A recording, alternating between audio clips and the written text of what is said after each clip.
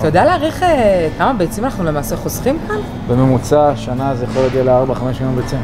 אה, 4-5 כמויות- מיליון ביצים? כמויות אדירות. וואו. אני מניח שמפעלים שלמים של ביצים וואו. ייסגרו. אה, אנחנו במפעל של אנטיקוביץ'. כל החדר הזה, כל החלל הזה שמפוצץ ברוגלח, הם כולם טבעוניים. בחודשים האחרונים התחלנו בצור שיתוף פעולה יחד עם עמותת ויגן פרנדלי, פרויקט מהנדסי המזון, להוציא את הרכיבים מן החי, להפוך את המוצר לטבעוני לשביעות רצון כולם. אה, סוכר?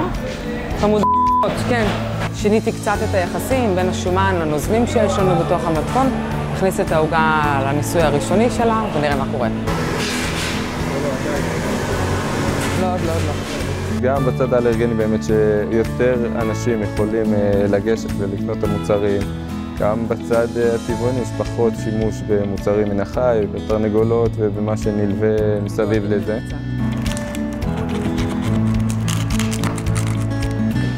כן. אין לנו תמציות טעם פה, אין כלום. זאת אומרת, לא שמנו אף טעם להיות, שמנו את הנטורל כאילו רק. תפוח. תפוח.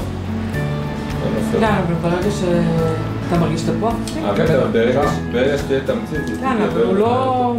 אני אומרת שאת הניסוי הבא זה לעשות את אותו המתכון עם תוסף הטעם שאנחנו רוצים.